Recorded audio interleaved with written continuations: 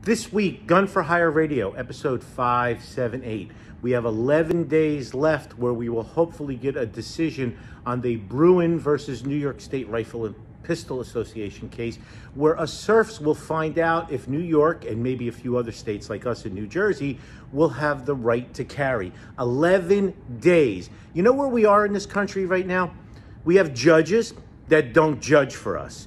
We have prosecutors that don't prosecute for us. We have elected representatives that we elect to go to Washington, D.C. to represent us, and they don't represent us. We, the third tier, the law abiding, tax paying citizens, are downtrodden. The media, they're part of the elite class now, too. So it's outnumbered. The fix is in.